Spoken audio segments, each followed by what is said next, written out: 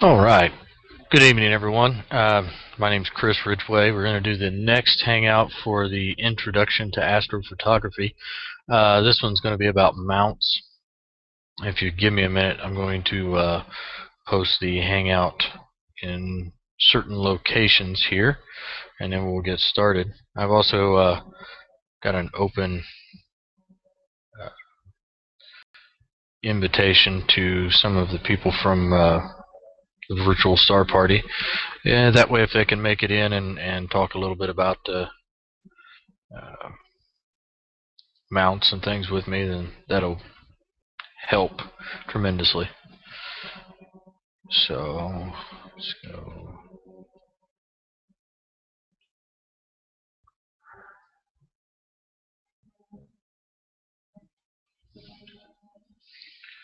Just one second here.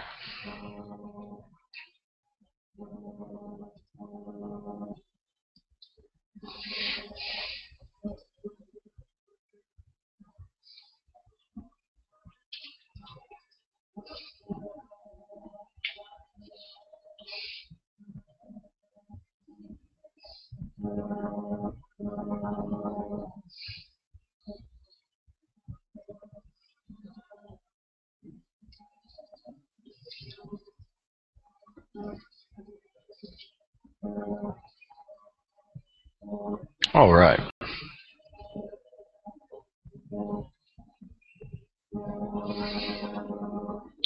Okay.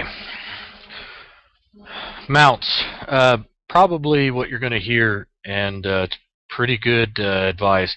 Mounts for astrophotography is probably the most, it's not probably, it is the most important thing to your uh, setup. Uh, a good mount um, can mean, you know, everything when you're doing the uh, when you're when you're taking any kind of uh, photographs. You could have a two thousand, three thousand, four thousand dollar telescope and have a two hundred dollar mount, and you know you're going to get pictures that are worth you know not a lot but uh, you know in in the case of astrophotography the more you spend in in this case, the better equipment you get, uh, and the better off you're going to be. Now, unfortunately, not all of us have a lot of money to spend on a on just a mount, um, so we have to make do with what we got. But um, you know, you can do, as we've talked before, you can do astrophotography with you know just about everything. Uh, you just got to know what to expect. Uh, but for the people wanting to get into it, um, the first place that I would say now to look before you make any purchases at all is uh, look at the mounts first. Uh, without a shadow of a doubt, look at, um, at, mounts first.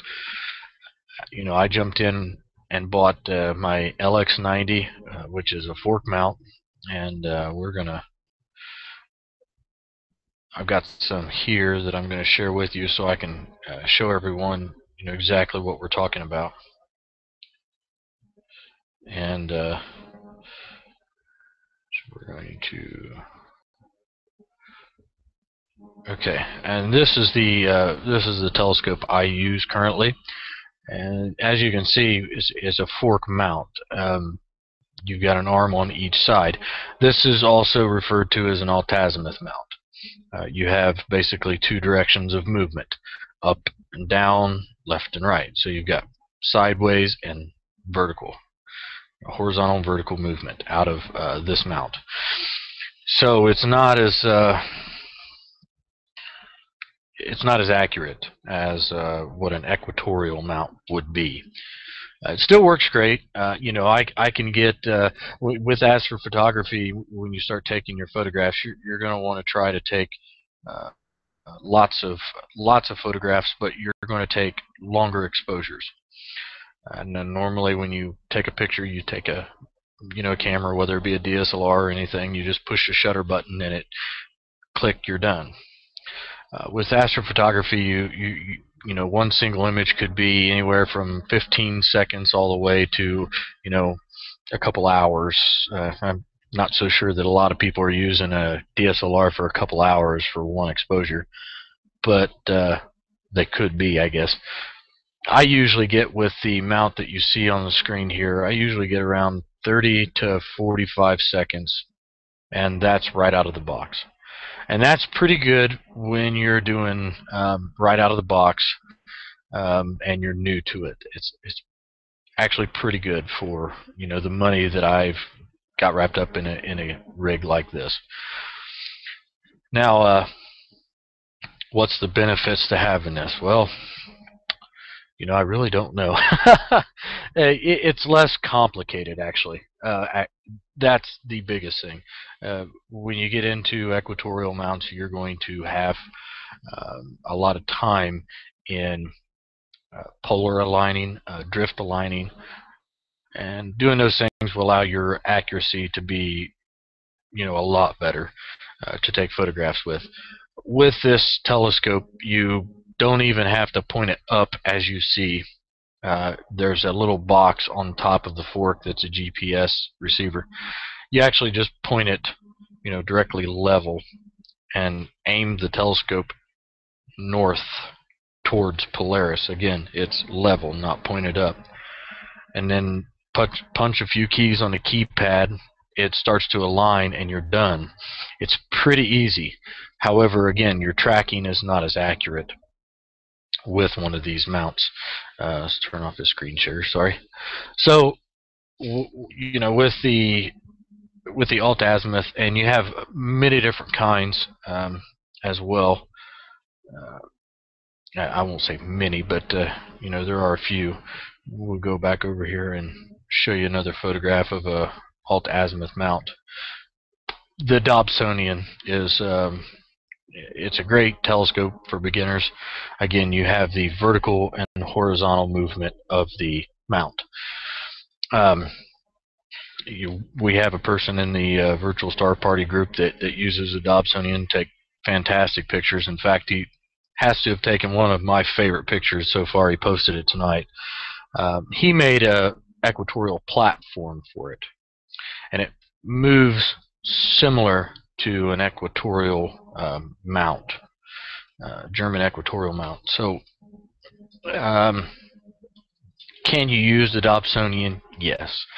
It's probably not one of the best telescopes to use for, or mounts, let me say, for astrophotography, but you can use it. And uh, yeah, Corey has shown us that uh, time and time again. So it is possible. Now let's uh, turn the screen share off. So what's the best mount? You know, we have the alt azimuth and you have the fork, you have the Dobsonian. Uh, they also have the single arm mounts. I didn't get a picture of that. It's similar to a fork, only just half the fork. Um, Celestron makes a, uh, a, telescope where it's just one side of the uh, scope has the arm. So the scope would be mounted here, and the arm's here, and your movement is like this. Um, so you have, you know, different types of alt azimuth. You, uh, then you've got the equatorial mounts. Um, the equatorial mounts are probably the best way to go for uh, any kind of astrophotography. Uh, the reason why is that the equatorial mount was, was built to basically follow the movement or the rotation of the sky. And how it does that, we'll bring up a picture here of an equatorial mount so you guys can see this. Okay, and this is an equatorial mount. Now if you see it's it's kind of angled upward. Uh, the telescope uh, would mount up at the top right hand corner. Um, I'm pretty sure you guys are seeing this the same way. If it's not, it'll be the top left hand corner for you. But at the top corner, that's where your telescope will mount. Your tripod will mount at the bottom of the photograph here. Um, and you can see that it's angled upward. Why? Well, it's angled upward, and basically where you would point this is at the North Star for those of us in the northern hemisphere that aren't upside down. Sorry, that's a long-running joke I've got. um, theirs will be uh, in the southern hemisphere. It'll be flipped over like this. uh, just again, it's just a joke. Um, but what you'll do is you'll point this at Polaris, okay, and then upon doing so, you will you will lock in the Polaris and you will uh, um, start to do the uh, the polar alignment. And that's a I haven't done one yet, so I can't really explain in great detail how to do it. Uh, but what what that allows is um, if I can find a uh, let's bring this up. This is the same type of mount. Now this is a little bit better. This is one of the higher dollar mounts, so I don't want you to uh, think a whole lot about this.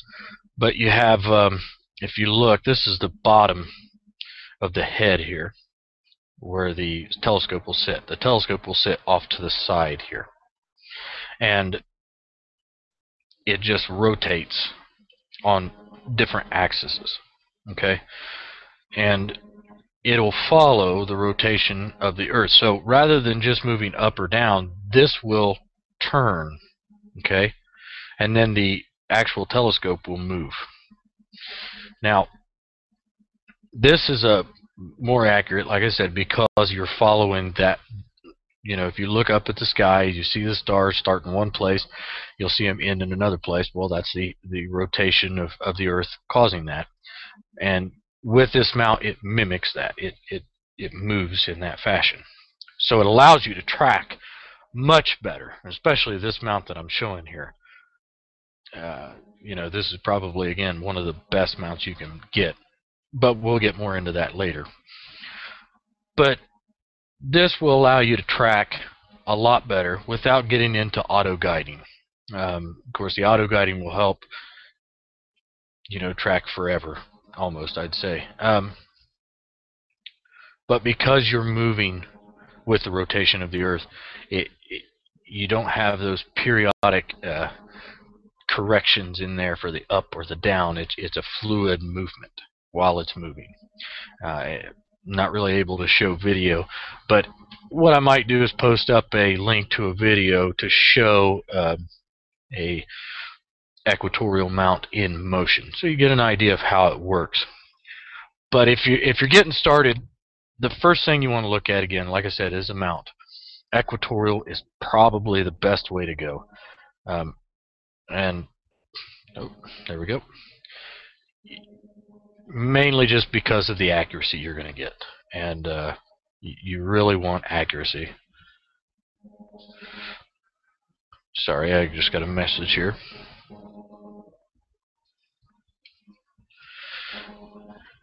Alright, make sure there's no questions here. Nothing so far that I can tell. Okay. So, you know, again, just uh, equatorial, and if you can, if you can swing that, uh, once you start getting in and, and building your your setup, uh, going to a website or a store and looking for specific components, you're going to start putting a little bit more money into um, and you know the you can go from one end to the other on on amount of money that you put into this uh, this setup. And and just to give you a, a, you know a little bit of an idea here, we'll go in here and look for um, for mounts and and give you an idea of what a good um, mount would be for you know telescope. You're looking right now at a cheaper mount seven hundred dollars. Uh, the another company looks like they make one. You got to look at how much that mount will hold to. That's a big, big thing. Um, your payload capacity, if you will, on your mount. Uh, what you got to re remember is when you start doing astrophotography, you don't just have the telescope on the mount. You're going to have a camera. Uh, you may have a filter. Uh, you may have um, you know a, a smaller spotting scope so you can you know check where you are. Um, you can have a auto guider on there, which means you're going to have that second scope. You're going to have another camera mounted to that second scope. Uh, so you're going to have more stuff mounted to this. Now, uh, I'm looking at one right here that'll hold a, payload of 11 pounds, and they're $400 for one of these. Uh, the one for $700, you can do 35 pounds. And you think, mm, 35 pounds, am I really going to have that much? You'll be surprised once you get into this hobby. Um, and then from there, it just rises exponentially. Um, and a good mount that a lot of uh, uh, a lot of the really good uh, photographers use is um, eh, quite a bit of money. It's a CGE Pro mount, and it's a eh, upwards of four grand, five grand. So you're, but you're also looking at 90 pounds of capacity, and uh, you know it, it's a really good mount. So, you know, again, you're looking at 300 to you know a few thousand dollars and and uh, it can get pretty salty if you do it that way. But uh, it you know probably will be worth it. I'm looking at a mount right now that's eighty-four thousand dollars. Uh, uh, it, it weighs 2,000 pounds and it'll have a payload capacity of 350 pounds, and that's made by Takahashi. Um, so you're getting into some really high dollar amounts. So anywhere from 300 to 83,000 dollars. I'm sure a lot of us won't need a 83,000 dollar amount. A lot of us might not be able to afford an 83,000 dollar amount. But there's your and and these are for uh, computerized scopes, okay, or mounts. I'm sorry. These aren't just plain hand guided. These have uh, you know a computer guiding uh, on them. So that's going to be a big, uh, big part of it too. You you know you're obviously going to want to computerized scope. Um, now you have another option, and this is the option that I have decided to take for now. Um, and I say for now because believe me, you'll decide differently in the long run. I'm sure I will anyway. But if you really get into this, you'll start to decide differently. And let's screen share this photograph. This is a fork mount, as you can tell, but you can see it's sitting a little weird. And that's because right down here at the bottom, it's sitting on what we call an equatorial wedge. Now this is to allow your fork-mounted telescope to move in a fashion similar to an equatorial mount. This allows you to uh, move very similar, like I said, to the equatorial mount. So it'll it'll allow your tracking to be more precise. Not as precise, but it'll help tremendously. And that's the way I've decided to go. I haven't quite got the equatorial plat or the wedge in yet. Once I do, I can you know give a full review on how well the wedge works. I got to learn how to do um, polar alignment and drift alignment first. So you're going to want to look in all your um, options here for for what kind of mount you want. One thing I will say with the fork mount, uh, you know, we're kind of backing up a little bit here, but as I was looking at this photo, it reminded me of something.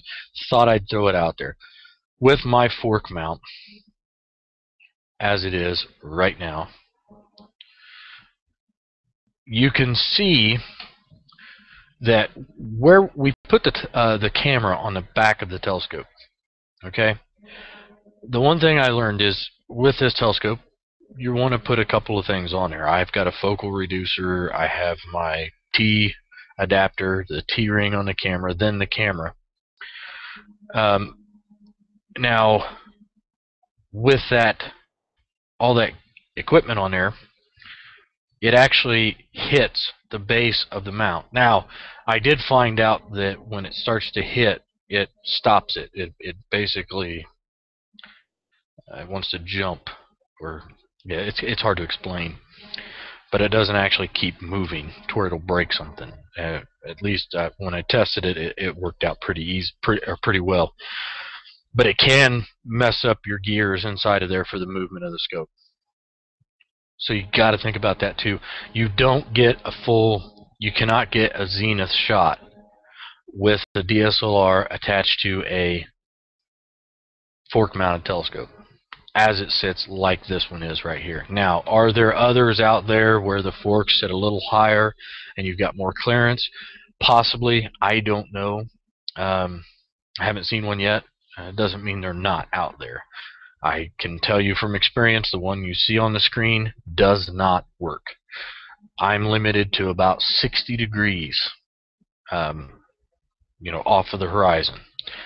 Now, 60 degrees, that's a lot, but there's still another 30 degrees of objects up at zenith that and and uh, the the closer you get to zenith, uh, the better you know your photos will start to look because you're you're not going through as much of the atmosphere.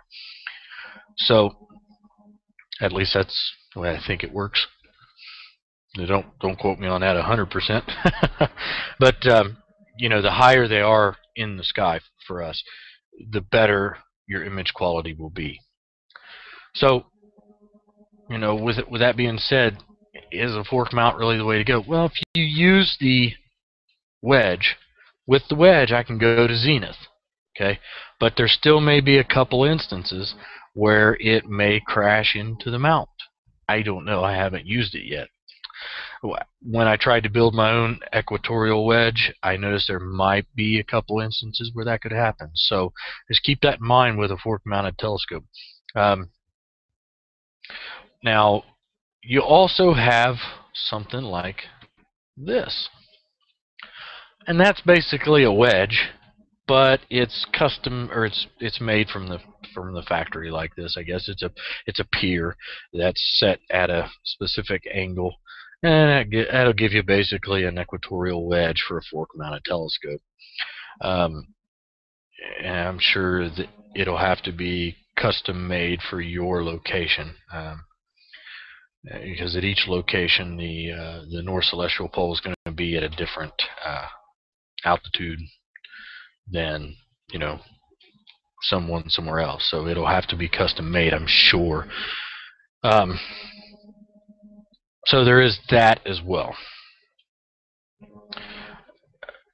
But as far as, like I said, as far as the mount goes, your your best bet's really going to be a German equatorial, and it's going to be for that reason of of movement and um, accuracy. From there, the sky's the limit um, on cost. Uh, you know, the obviously the most cost-effective way is to be able to buy the whole rig custom or pre-built and and ready to go. You can do that. Um, a lot of those still get pretty expensive, but uh, you you can do that. Um, but again, when you when you want to look into it, uh, start with your mount. If you, if you really want to get serious about your um, astrophotography, you know, start with your mount.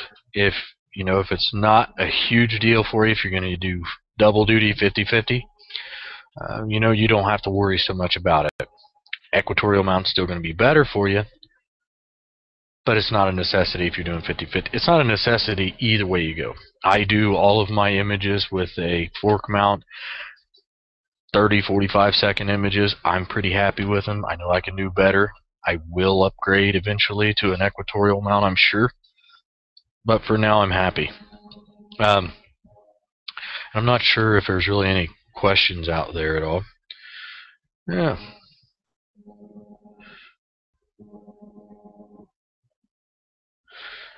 James Haney says, "No wonder you get such great shots." Well, I don't, I don't get that good of shots, but uh, it looks like we've got uh, somebody joined us here.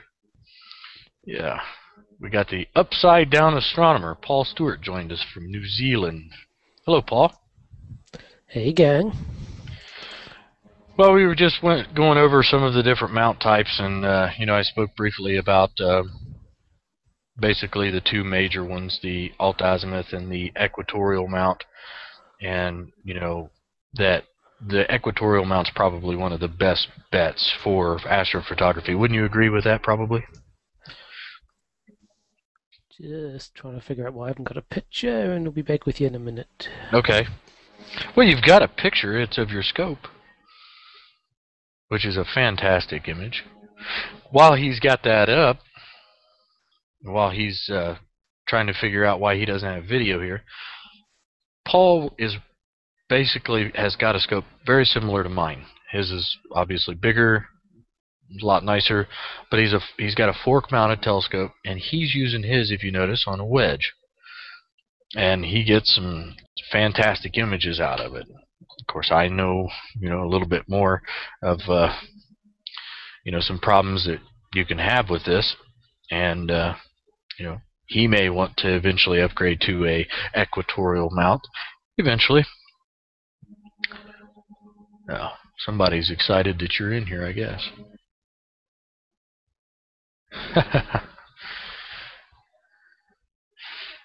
okay. But so you see that you know a lot of us use the the fork mount, and that's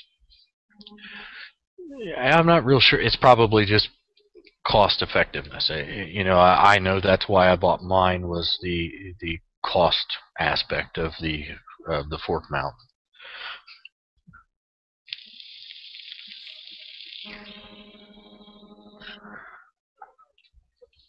and you can buy a fork mount and buy a wedge for it.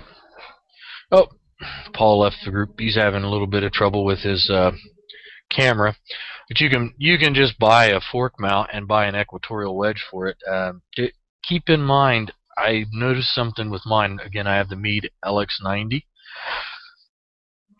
I'm I'm not so sure they make the original Meade wedge for it. They make other wedges now for the fork mounted telescopes but I'm not sure if they make the LX90 mount the original one, and it was a $200 mount. Um, I was uh, lucky enough to pick one up used, um, but a lot of the websites that I went to were out of them, and Meade, the Meade store itself, was out of them. So, you know, keep that in mind. And the new equatorial wedges that they sell have went up a lot in price. Uh, the last I checked, one was um, 4.99, and then they went up a little bit more from there. And I know Paul uses a wedge from another company, and they are a little bit more expensive. But he was very happy with the wedge and the quality of the wedge, and how much better it was, in his opinion. So you do still have some uh, options there for you if you decide to go with something like I have with the LX90. Uh, the LX200, I'm pretty sure they're pretty easy to find the wedges for. Excuse me. Um, so, German equatorial, fork mount, wedge mounted fork mount. It, it, you know, it's it's just out there. So uh, I always say, you know, you, your best bet is to to kind of look around. If you, if you can get to a star party um, and walk around, look at the scopes you see, talk to the people that own them, uh, find out, you know, why they picked the scope that they did. Again, I picked the scope I did, the fork mount for uh, the price and the fact that I do know that a lot of the Schmidt Cassegrain uh, telescopes have um, coma problems. Okay, but I picked mine up because it has a um, special mirror or lens setup. It's called you know an ACF. It's advanced coma free. So they did a little bit work, little bit of work to it, and uh, helped to remove that coma. Um, so I picked it up for a couple of reasons. The price was great, and the the design I really liked. Um, and if you do that, you do still have options. Uh, Meade does make these single arm telescopes as well. You can use any of them for astrophotography. Keep that in mind. You can, if it has a well, even if it has a one and a quarter inch uh, eyepiece, you can still use a DSLR. I have a T adapter for one and a quarter uh, eyepiece adapter and a two inch, so I can use my DSLR on pretty much any telescope, other than a uh, store a cheap store bought uh, knockoff. They use a .965 eyepiece holder, and they're um, obviously they're not as well built. So uh, try to see if Paul might join up here, and we'll get if he does, we'll get his insight into uh, what he thinks of of the different uh, the different mounts. I'm not so sure if he'll be able to join up or not. He's having a little problems. Um, the German Equatorial, just to kind of go over everything until we see if Paul can jump back in. German Equatorial, you're looking at, uh, yeah, here he is. The uh, the fact that it'll move. I got you there now, Paul. This time. Yep. Perfect. So, uh, you know, like I said, I was just kind of going over things real fast. The, the German equatorial moves with the rotation of the Earth, the, the, the movement of the sky is as we see it. Uh, the fork mount is up and down, left and right. You mount it on a wedge, it, it moves similar to a, a German equatorial. Uh, so you go either way. Uh, like I said, I've chose to go with a fork mount on an equatorial wedge. Paul uses the same thing. Um, you know, we get pretty good results. Uh, but I'm sure you'll probably there. One of the mounts that I showed you, uh, uh, one of our people in the virtual star party uh, runs one of those, and he can get, I think he said 30 minute subs without auto guiding. Now, if that's the case, that's just phenomenal. I mean, without any kind of auto guiding equipment.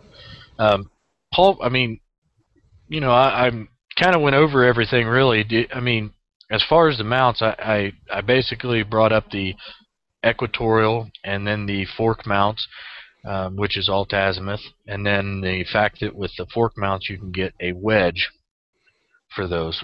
You know, in, in your opinion, would you would you say the equatorial, if you're really getting serious in astrophotography, is the way to go? Probably. Oh, most likely, but um, I think there's a lot you can do with a standard alt az on a wedge, Mm-hmm. which we can show you because the scope is not currently mounted on the wedge. Oh, okay. It'll be a bit be dark. Yeah, still get a pretty good look at it though. If the cord was long enough. And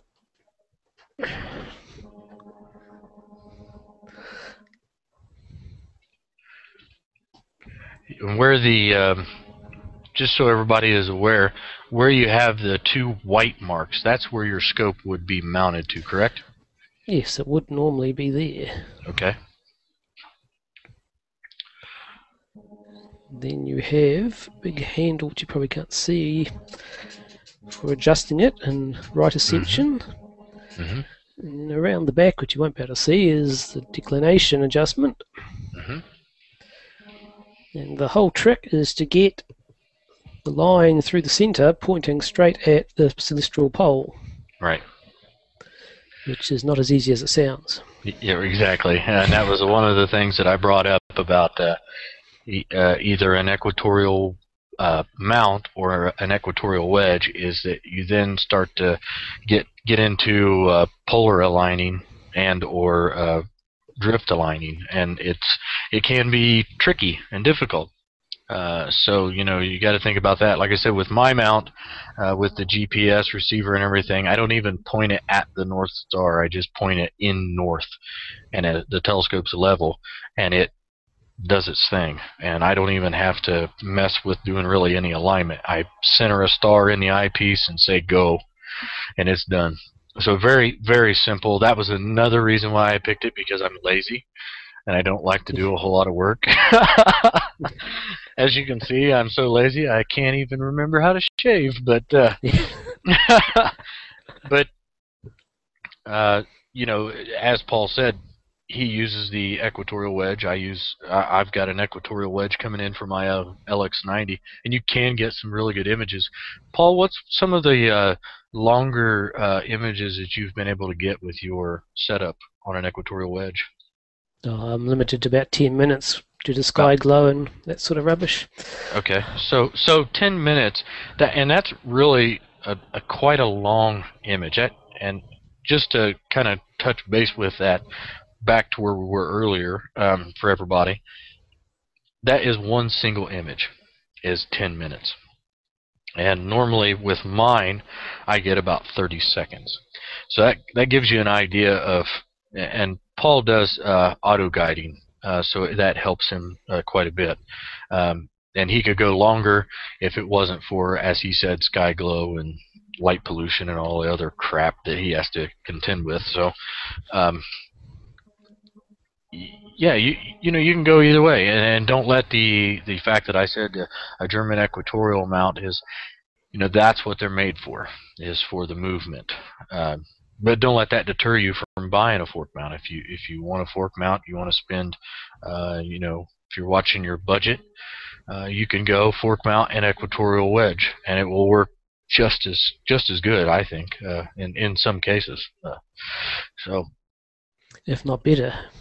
Yeah, yeah, depending on you know many different things, I'm sure. Yep.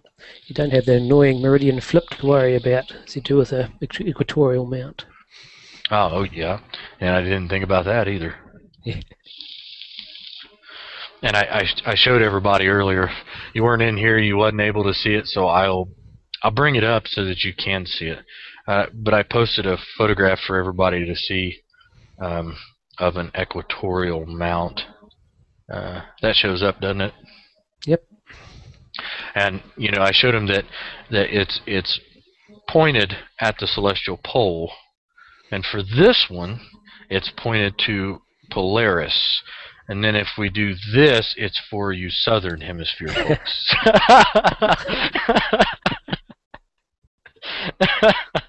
I just had to do that while I was in there. but uh, like and like we said, uh, and the other photograph that I showed was, uh, or uh, that's not it. This one right here, and we'll we'll show this one real quick. And this kind of shows how it moves. Now this is uh, right ascension. This was as the telescope has moved in its right ascension. It's also moved in the uh, no, it hasn't moved in the declination. The declination would be right here in this black box, basically. Uh, but the the right ascension would be this long bar here, if you will, and that'll that'll turn, and then the, it it it's difficult to to tell you about. It's easier to see it. it's it's funny when I got my first equatorial mount telescope, which was all hand guided, I started to move it. I thought, wow, this is really funny to use. so it it can be um, difficult to use in in some cases, um, but don't let that deter you from doing it. It's it just takes some time to learn how to polar align, and then with the uh, astrophotography drift aligning. Uh, you know, maybe eventually sometime with one of these hangouts we can get into what those things are. I'm not really sure 100%, but I'm going to have to figure it out soon. Um, do you have uh, any um, anything really to add on, on, on mounts and, and how important it is, or unimportant, or well, at the moment, my mount is sitting on the floor in pieces. Oh. So show you the guts of it.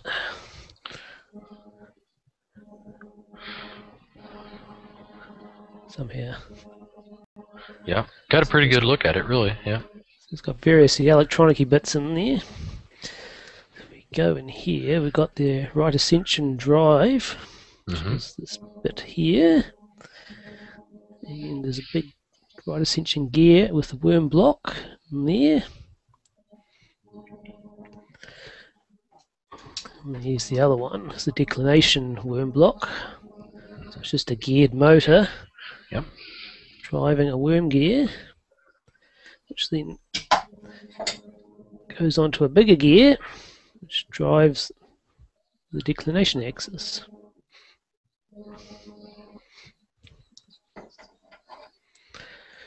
It's not really a position a scope normally sits in. no, that's not one we like to see them sit in either, is it? that gives you an idea what's going on inside it. And again, this is for the uh, for the fork mounted. The German equatorial are going to be similar, uh, but things are going to be in different places, and it'll be set up a little different, but pretty similar on the how it's going to work. Yeah, same same gears and worms and all that. So we're just tinkering with that at the moment, just trying to get the drives to go a little bit smoother. There's a bit of play in there. Mm. And I too hard to figure out.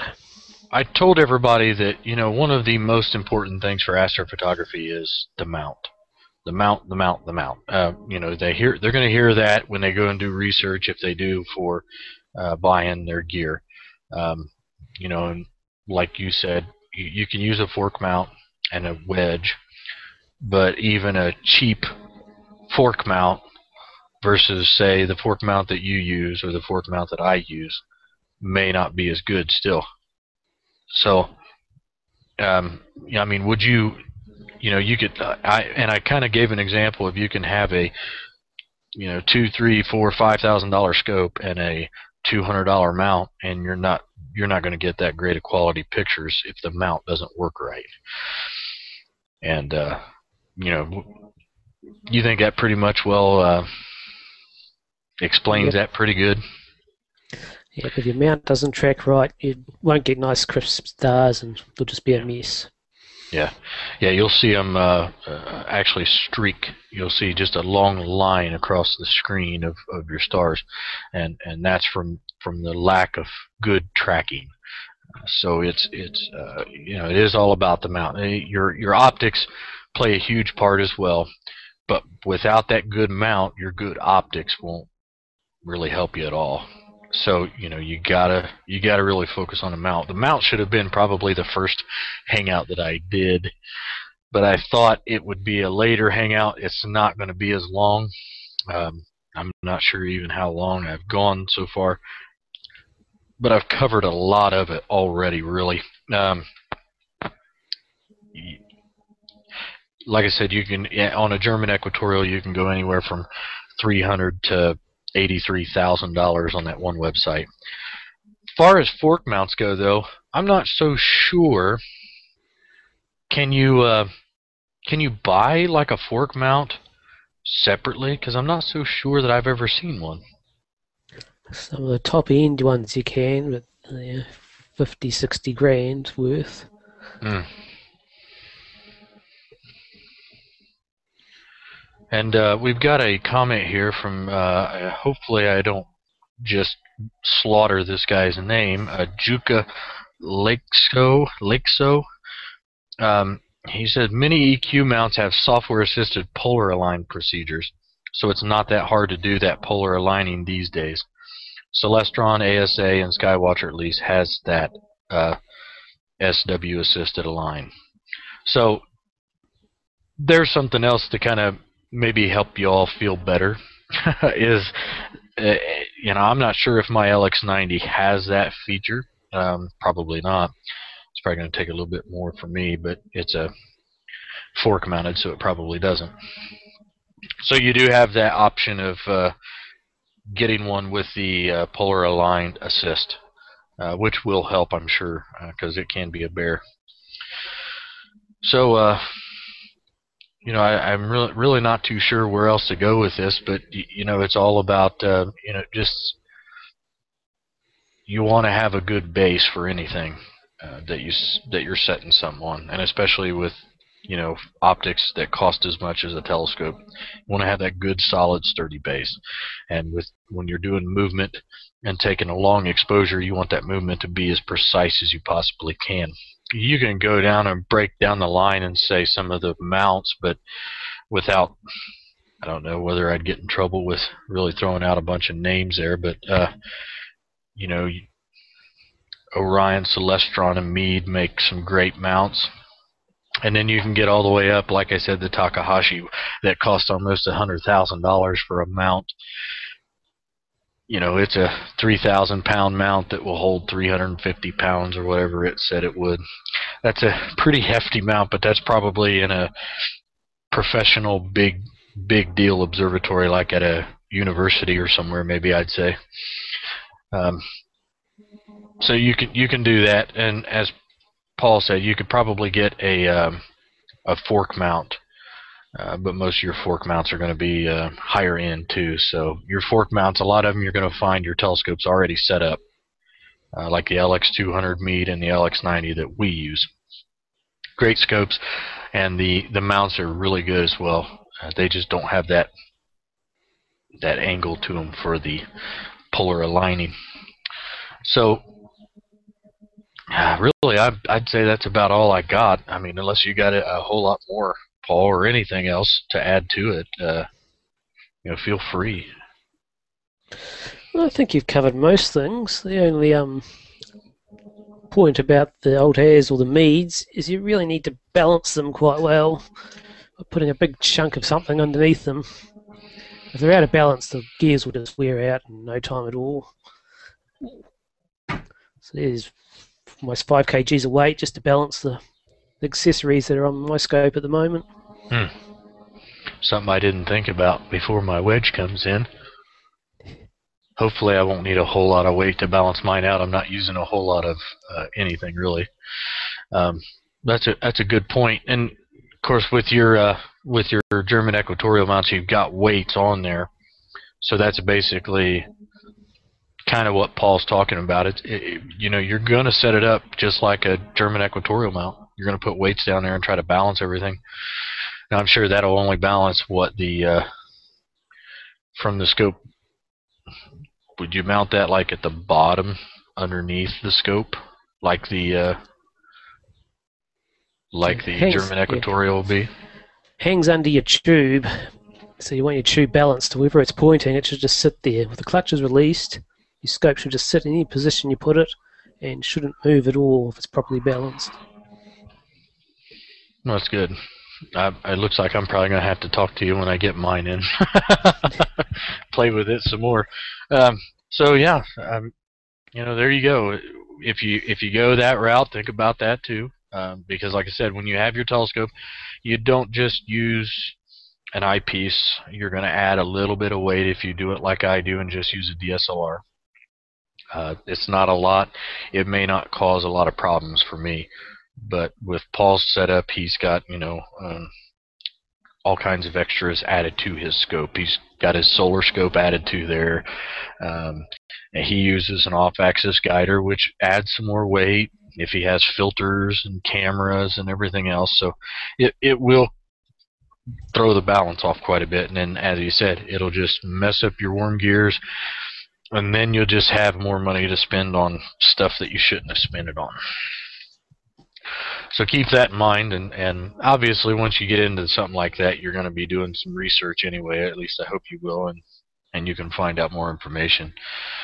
Um, so if there's any questions, you know, feel free to post them uh, anywhere on the uh, the hang or the yeah the hangout uh, posts that I've that I've got up there. Um, you know, or or you can just post questions to me specifically if you want, or and if I don't know it, I can sure ask any one of the guys from the uh, uh,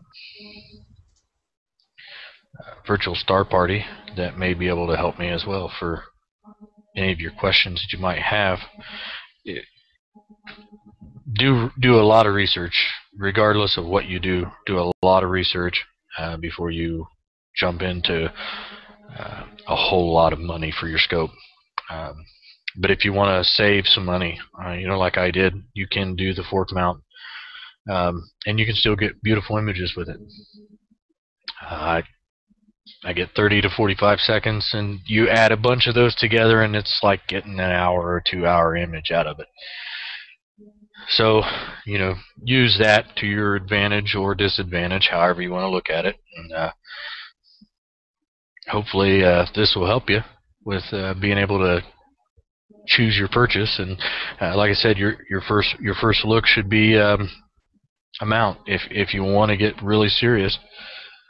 And, and uh, you don't want to use a fork mount look real look real hard into the mounts online and uh, see what all there is out there to, for you to pick up. But I think we'll end there. It's been a pretty quick hangout, just shy of an hour. So the others have went over an hour, two hours almost. But Paul, thanks for jumping in there uh, for a few minutes and giving your input on uh, how you uh, on the on mounts and everything, showing us your broke mount or tore apart mount anyway. really appreciate it. Not a problem. And hopefully uh, your head don't hurt for too long, be it happen to stand on your head, and so we can see you right side up here. All right, everybody. Well, have a good night, and we'll say thanks again to Paul Stewart, and thanks for watching. And uh, any more questions or anything, just feel free to post them. We'll see if we can get them answered for you. Uh, we're going to do another mount or another uh, hang. I'm going to do another hangout. I'm not sure what yet. Um, maybe cameras, uh, maybe uh, probably cameras. Um, I'm not gonna do a, a, whole lot more. Probably cameras, and maybe we'll go into some of the software that we use for uh, astrophotography. Uh, your stacking software, um, and then some of the uh, processing software that we use. Um, and you know there's not a lot but there is quite a bit out there that you'll have to choose from so uh, you know we'll, we'll probably get into software eventually and then maybe I'll I'll do a hangout for a beginners um, image processing for astrophotography. I'm still a beginner. Well I mean we're, we can all still be considered beginners. We learn something new every day. Um, but I don't know quite as much about my processing as say Paul does or some of the other guys. Uh, so I can kind of show people how to do uh, basic, very extremely basic image processing techniques that'll help you out. And you know that'll probably be the end of this. Maybe two or three more uh, hangouts for this, and and you know we'll be all done. So thanks again, and don't forget tomorrow night. Um, don't remember what time the uh, don't don't remember what time it starts. Hopefully, I'll be able to be in on the uh, virtual star party. It's tomorrow night. It's saying uh, 10 p.m. my time, I think. So that'll be uh, 7 p.m. Um, Pacific time, I think. So uh, this is 10 p.m. Eastern time is when the virtual star party will start tomorrow. And then, you know, don't forget also about the it looks like they've got learning spaces coming up in a couple of days. Uh, the weekly space hangout with Fraser and Pamela. Uh, also, no, we missed that one, didn't we? The Friday, February 20. Yep, we missed the hangout. But uh, we've got, you know, don't forget about the weekly space hangouts and. Uh, Pamela and CosmoQuest has a learning space coming up next Wednesday, and tomorrow's a virtual star party. I'm pretty sure. So don't forget about all those. So everybody have a good night. Thanks for watching, and uh, we'll see you next time. See you, Paul. Thanks. See you later.